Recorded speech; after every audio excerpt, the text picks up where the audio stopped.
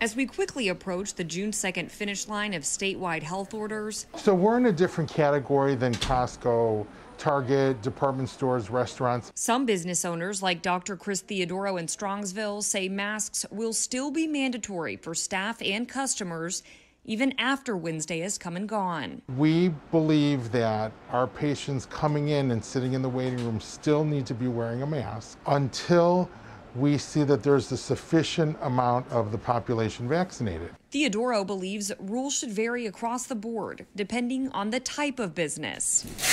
We're waiting on guidance from the American Dental Association and the Ohio State Dental Board. At Market Garden Brewery, regulations will relax Wednesday. So as of June 2nd, we are um, just going forward. Um, masks are optional. That includes customers and staff.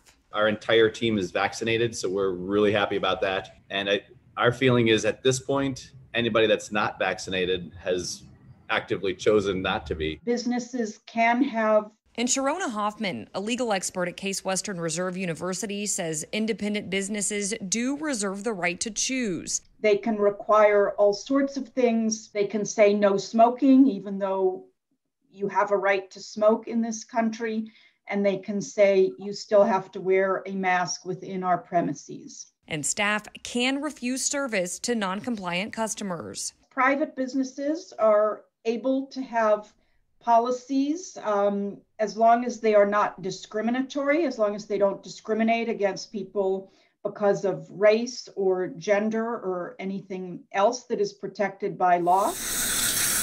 Theodoro has already seen resistance from patients before the official end of Ohio's health mandates. We have had patients that have pushed back, and actually, even today, I had a patient who walked in, didn't call, didn't want to wear a mask. but says productive, rational conversations typically ease those uncomfortable situations. And then she, you know, thought about it and said, Yeah, you know, you're right.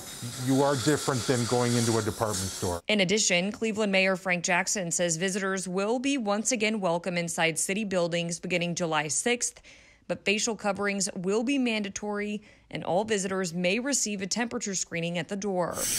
Reporting for News 5, I'm Emily Hamilton.